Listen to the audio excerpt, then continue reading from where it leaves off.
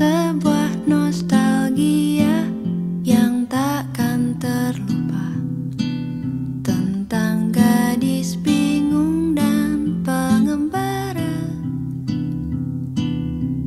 Berbagi cerita di penghujung